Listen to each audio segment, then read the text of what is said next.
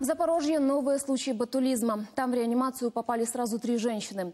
Источник заболевания все тот же – рыба. В стране спасительной сыворотки нет, и сегодня это снова подтвердили в Минздраве. А пока родственники больных сбились с ног в поисках препаратов, врачи дают один совет – не ешьте вяленую рыбу. Подробнее Сергей Бордюжа.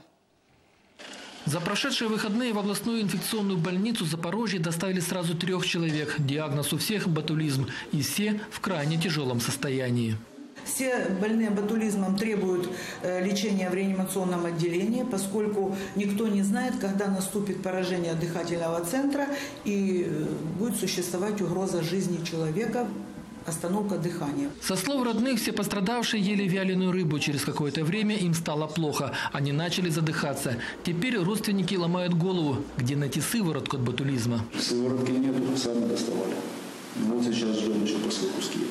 Спасение пострадавших от ботулизма теперь дело рук исключительно близких и родных. Этого даже не скрывают в облздраве. Вот уже три года они бьют тревогу, но централизованных поставок как не было, так и нет. Разными способами завозят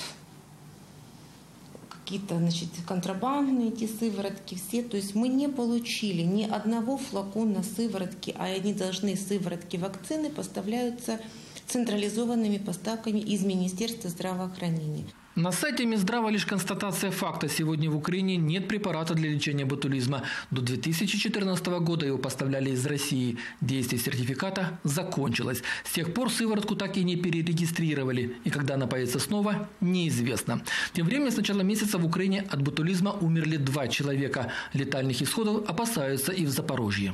Ботулизм – это яд, это не живой микроб, это уже продукт жизнедеятельности этого микроба в анаэробных условиях. Рекомендация у врачей пока только одна – не покупать вяленую рыбу. И если в Киеве ее продажу уже официально запретили, то в Запорожье в магазинах такую продукцию все еще расхваливают.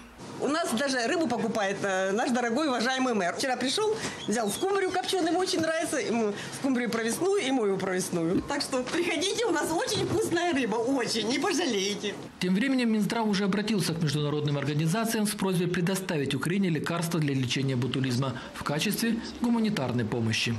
Сергей Бордюжа, Игорь Воробей, подробности, телеканал Интер, Запорожье.